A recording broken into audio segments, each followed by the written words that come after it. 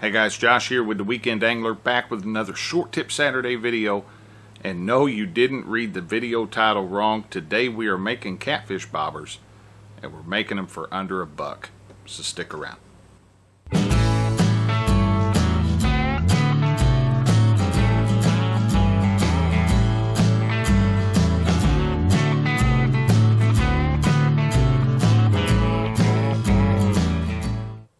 Alright guys, at certain times of the year, presenting your bait underneath a bobber can be one of the most effective methods for targeting large catfish, especially when you're targeting flathead catfish using live bait. Now, on the market today, there are all different types of catfish bobbers, but they all perform the same basic function. They suspend your bait somewhere in the water column and keep it up off the bottom. Now, a while back I did a video showing how to make a bobber using pool noodle.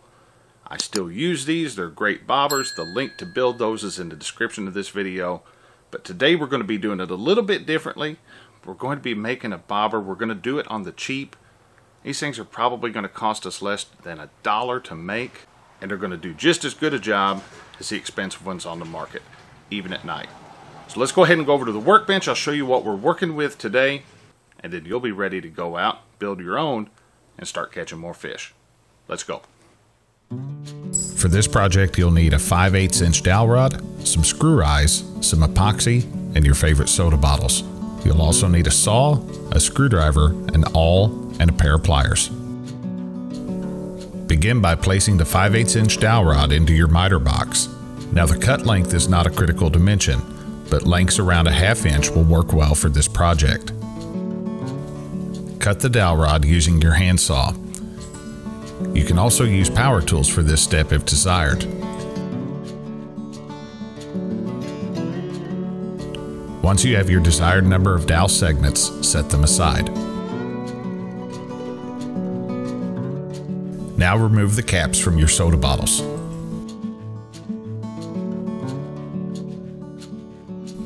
Use an awl or a small nail to make a hole in the center of each of the bottle caps.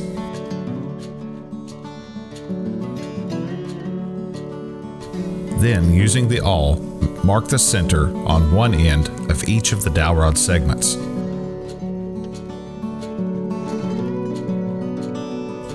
Dispense equal parts of epoxy and hardener, then mix thoroughly. Some epoxies set rather quickly. Don't make too much at one time. Insert a screw eye into the top of the bottle cap. Tighten until the rounded part of the screw eye is flush with the top of the bottle cap.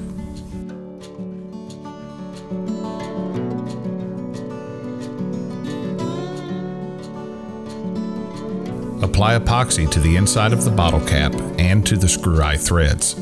Take care to avoid getting epoxy on the bottle cap threads.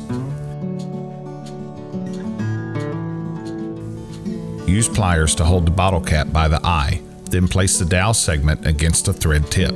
Screw the eye into the section of dowel rod until fully tightened.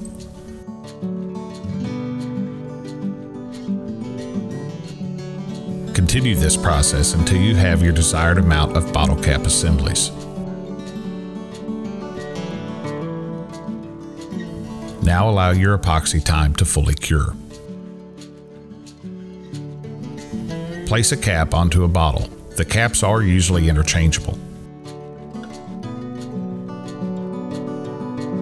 Attach your bottle bobber to your slip float rig by placing the sinker slide snap through the eye in the bottle cap.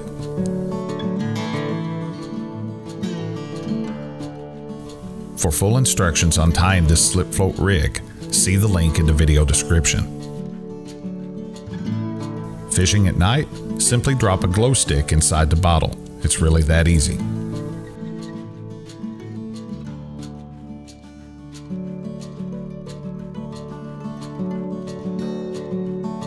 The glow stick will keep your float visible, making sure you don't miss any bites. Alright guys, there you have it. One quick, easy, and effective lighted catfish bobber, and we built it for under a buck. So before we close the video out today, just a couple of comments. One for the bean counters who are probably already have their comment halfway typed as, oh, the soda costs more than a dollar. Yes, it does. But most of us buy our soda bottles to drink the soda inside. That becomes trash. So I didn't factor that into the cost of the bobber because that's something that's going to be thrown away anyway. Or if you really want to get technical, I don't know that I've ever been to a boat ramp or a bank fishing spot anywhere outside. It's just probably not a few of these laying around already. So pick them up, clean up the area that you're fishing in, make the water look better, and you get a bobber out of it for free. Parting thought, I know I went over the slip float rig pretty quickly in this video, but I do have a Short Tip Saturday video that covers that start to finish, how I rig up that slip float rig. I'll leave the link to that video in the description of this one. So once you've built your bobber, go check that out. I'll show you how to rig it. So guys, if this video has helped you out, if you enjoyed the video this week, please take a moment, give it that thumbs up button. And if you're checking me out for the very first time, guys, I post a fishing or boating related tip or trick video every week. If that's something you're interested in, go ahead and hit that subscribe button and the little bell next to it. That way you don't miss any videos. Guys, that's all I've got for this week. I want to try this thing out later on tonight. Thank you for watching. And until next time, we'll catch you out on the water.